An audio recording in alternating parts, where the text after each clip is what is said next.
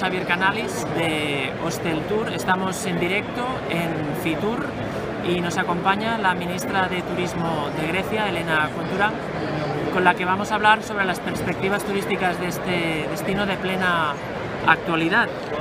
Primero me gustaría preguntarte qué crees que ha beneficiado y qué crees que ha perjudicado al turismo griego en 2015 y luego hablaremos ya un poco de 2016. Teníamos eh, de verdad eh, un muy buen año. El 2015 era el mejor año eh, de turismo griego.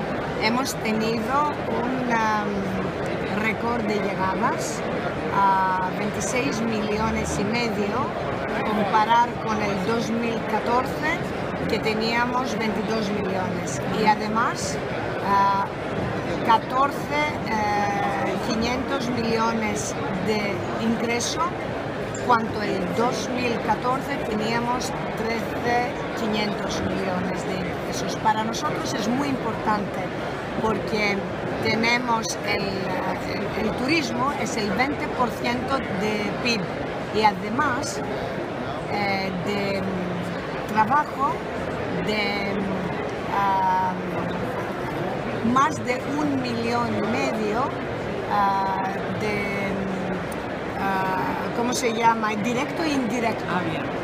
Eh, entonces, eh, como entiende, el turismo para Grecia es muy importante por la economía greca.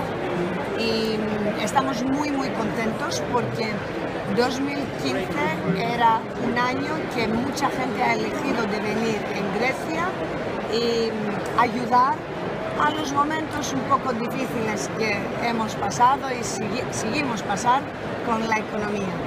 Ah, lo que queremos es que, como tenemos una estrategia que hemos empleado, que ya ha tenido éxito, ah, de continuar para los próximos dos, tres años, porque esta estrategia es eh, para el futuro, ah, de conseguir 2016 de ser un año mejor, eh, hasta el 2018, que mi, visión es Grecia de estar eh, y estabilizar dentro de cinco más populares destinaciones, al menos en Europa. Muchas gracias. Vamos a continuar la entrevista y a los lectores de Hostel Tour les recuerdo que podrán leer el contenido completo en hosteltour.com. Muchas gracias.